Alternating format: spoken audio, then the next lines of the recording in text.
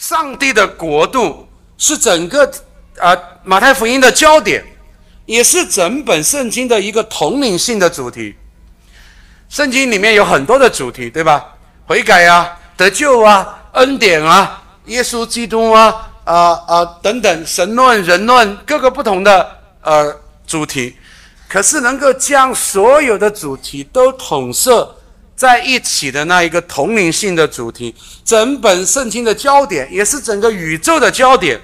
各位，并不是你或者我如何得救。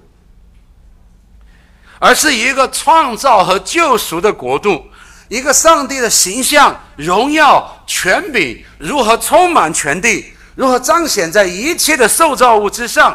那一个圣洁、公义和慈爱的国度，就是约翰在这里宣告的天国。这个才是整个圣经的焦点，这个才是整个基督教信仰的核心。一个罪人。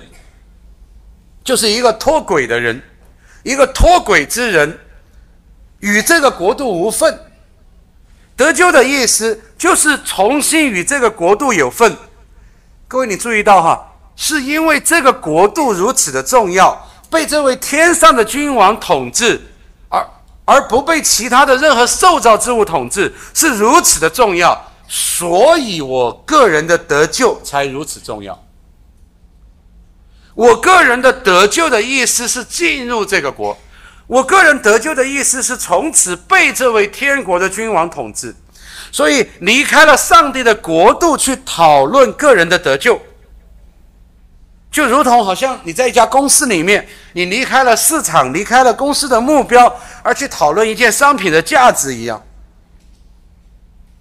你不能够离开一个人的目的而去讨论一个人的得救。得救的意思是一个人的受造的目的的恢复，而人的目的是什么呢？小李问答第一问说：“人的目的是什么呢？是荣耀上帝，并以他为乐，直到永远。”那可是呢？让我这样讲，我们都受到近代以来的思想文化的影响，比如我们认为是先有国家才会，先有人民才有国家。我们认为是先有公民，然后才有，才有他们当中的统治者。又比如说，我们受到近代以来的一种哲学的影响，那就是视每一个人都是他自身的目的，是每一个人是他自己的目的。这是近代以来的最基本的一种，我想也是影响你们当中每一个人的观念。换言之，这种哲学根本不承认受造之物是有目的的，而且这个目的是由他的创造者所给定的。也就是说，各位，没有一个人是仅仅为着他自己而被造的，只有上帝自己。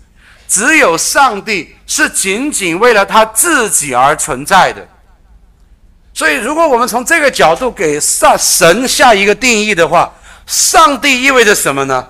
上帝就是就是他自己是他自己的目的的那一位，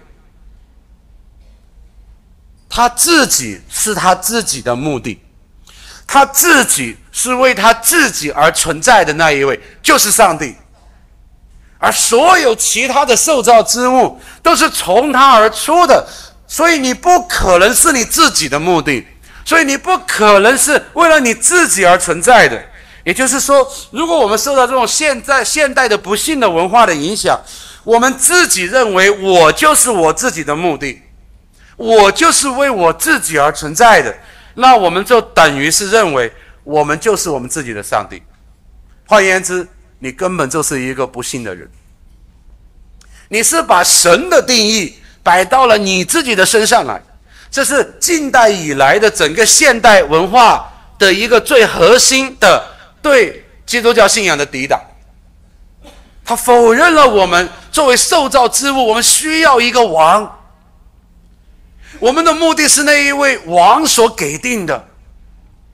我们生命当中的自由和我们生命的价值是在于单单的被这一位王所统治。